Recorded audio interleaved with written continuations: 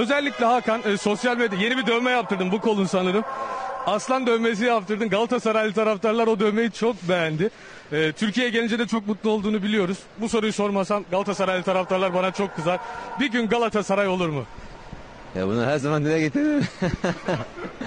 İleride olur mu olmaz mı bilmiyorum. İnşallah olur. Aslan dövümünün sebebi e, çok sevdiğim bir e, hayvan olduğu için. Bir de küçük aslan da yaptım. Oğlum gelecek inşallah bugünlerde. Onu bekliyorum.